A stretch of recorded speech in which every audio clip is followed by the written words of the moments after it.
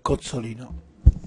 Grazie Presidente, ringrazio anche il Professore per aver accettato il nostro invito. Eh, ricordo anche al Presidente Brunetta che comunque la procedura era prevista, abbiamo richiesto una procedura prevista per legge. Comunque, eh, faremo molta, domande molto diciamo, tecniche sul programma che vorrà attuare il candidato. Ecco, ehm, ha parlato lei prima di informatizzazione e eh, dei servizi informatici. Ehm, all'interno dell'Istat è in corso un processo di riorganizzazione informatica, eh, del quale però non è eh, chiaro dove, eh, dove, andremo a parare, anche a luce di un recente questionario che è stato inviato al personale eh, richiedendo la compilazione senza fornire ulteriori eh, spiegazioni. La preoccupazione del personale e dei sindacati è che la dirigenza stia riflettendo suoi, eh, tutti i suoi limiti e che non sarebbe accettabile essendo presenti in organico i dipendenti Istat circa 200 informatici. Vorrei chiedere se il professore è al corrente di questa vicenda e quali siano le sue valutazioni e eventuali programmi di azione proprio in vista della, anche della sua uh, introduzione. Ehm, te, facciamo una domanda alla volta così può rispondere. Come preferite?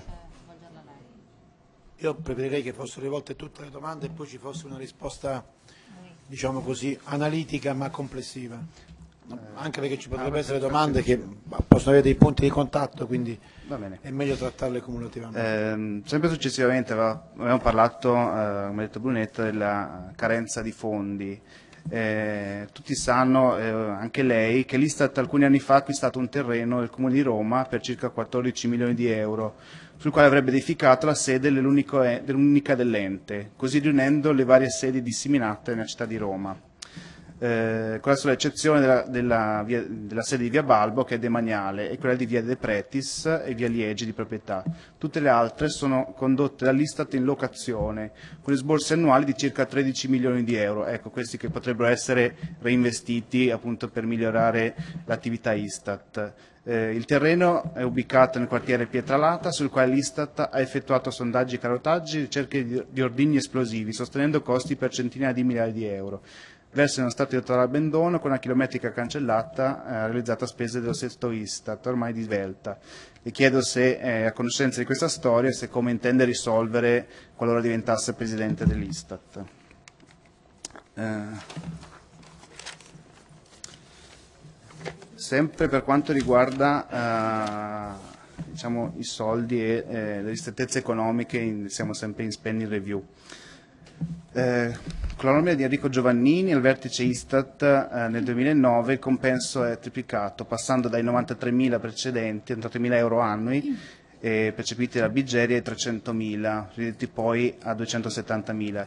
Un simile compenso, come è noto, supera quello percepito da Ben Bernanke, presidente del Comitato dei Governatori della Federal Reserve, e anche quello del presidente Obama ma eh, supera anche di molto a quello assegnato al Presidente del CNR, solo 159.000 euro, un ente che, a differenza dell'Istat, conta più di 8.000 dipendenti e 105 istituti su tutto il territorio nazionale, con budget di circa un miliardo di euro.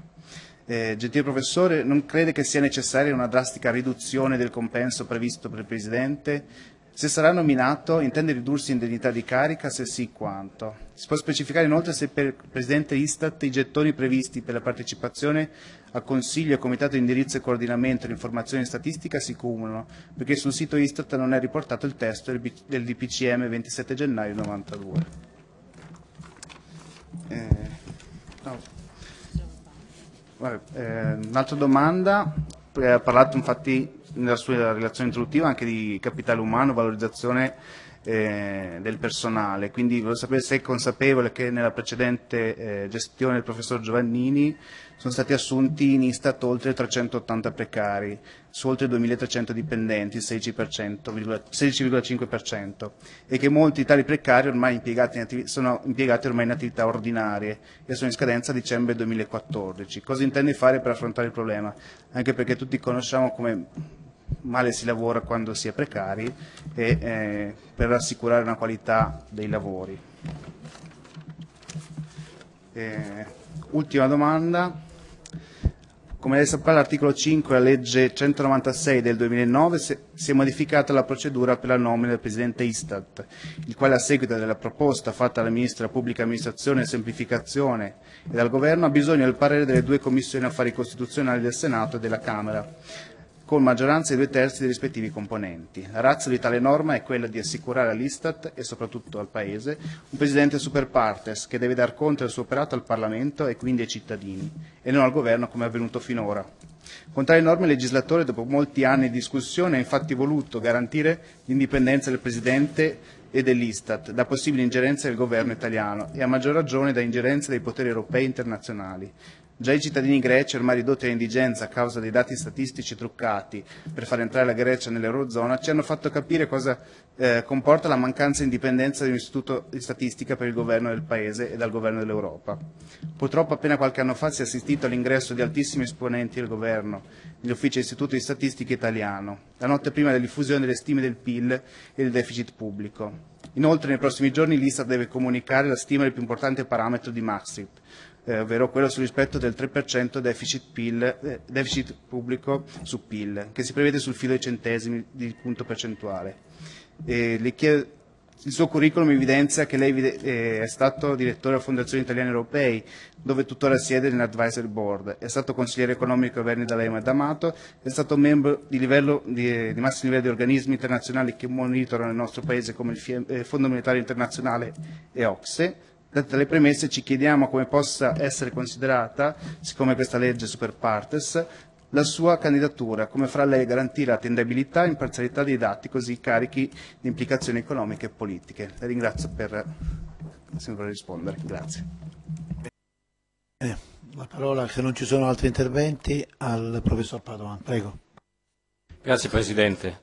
Eh, rispondendo a, agli interventi eh, degli onorevoli, innanzitutto ringrazio, se posso, il caro amico Renato Brunetta per le parole che eh, ha voluto usare ricordando i nostri eh, percorsi paralleli, come dici tu, con qualche anno che eh, ci incrociamo. Eh, l'onorevole Cozzolino e se ho ben capito membri, gli onorevoli membri del gruppo 5 Stelle eh, molto sinceramente, intanto la ringrazio per alcune informazioni che mi dà e alcune segnalazioni di problemi che evidentemente il Presidente dell'Ista dovrà affrontare.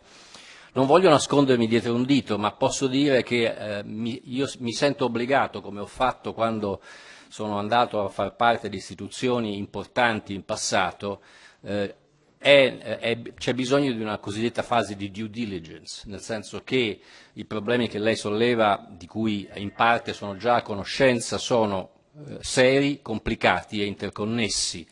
Bisogna, secondo me, avere una visione complessiva della strategia dell'Istituto e quindi fare scelte che, come ricordava il Presidente Brunetta, eh, subiscono il vincolo di bilancio che è molto duro. Quindi dato un vincolo di bilancio bisognerà affrontare i vari problemi. In questo sono incoraggiato dall'esperienza che è stata condotta fin qui, eh, mi sembra che l'Istat nella sua attività recente ha utilizzato meccanismi innovativi per continuare a fornire i prodotti che è richiesto faccia con risparmi di risorse, con riallocazione delle risorse. Quindi eh, mi scuso con l'onorevole Costolino se non riesco ad essere più specifico in questa sede, mi auguro in una veste diversa di poterlo fare in modo eh, più fattivo di quanto adesso non, non riesca a fare. Una, se mi è permessa una parola sulla questione dell'indipendenza. Eh, io direi che stata, eh, lei ha ricordato alcune mie eh, componenti del mio curriculum sia eh, diciamo come fondazione sia anche come diretto coinvolgimento in, in governi passati che ovviamente eh, fanno parte della mia attività professionale. Um, le dico due cose. Io sono stato eh, nominato, anzi votato, perché questa è la procedura nel caso della Costituenza italiana, votato ad essere membro del, del board del Fondo monetario da un governo che poi è uscito di scena e per tutta la durata della mia attività al board del Fondo monetario fino al 2005, nella seconda metà del 2005, ho risposto direttamente al Ministro dell'Economia di un governo di segno diverso.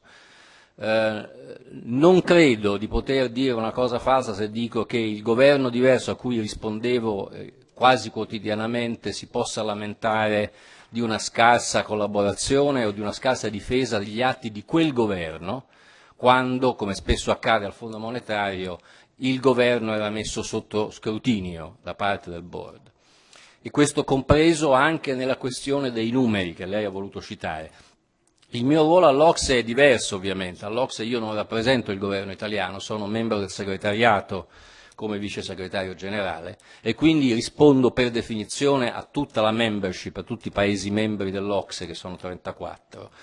Però voglio dire che come capo economista sono responsabile dei numeri, soprattutto dei numeri macroeconomici che l'Ocse produce e eh, Devo dire che più di una volta mi è capitato di eh, approvare numeri prodotti dallo staff dell'Ocse che si sono dimostrati in contrasto con eh, numeri che invece venivano utilizzati altrove. Quindi eh, quello che io ho sempre fatto quando ho dovuto prendere la responsabilità di approvare numeri è innanzitutto di continuare a controllare e ricontrollare il processo, discutere del perché quel numero dovesse uscire e quale, fosse, quale, fosse, il ragionamento dietro quel numero e una volta che in mia coscienza io ero convinto che quel numero fosse giusto, eh, ho eh, autorizzato la diffusione.